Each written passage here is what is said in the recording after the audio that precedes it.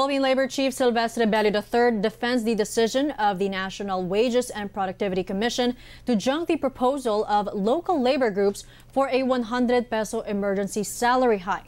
Bello says NWPC might have considered the move untimely. He adds while he recognizes the needs of the workers, the ability of employers to give a higher wage should also be considered. Kailangan i-balance mo eh. Oh, I, I for one believe na dapat may increase yung sweldo nila pero kaya ba ng employers nila?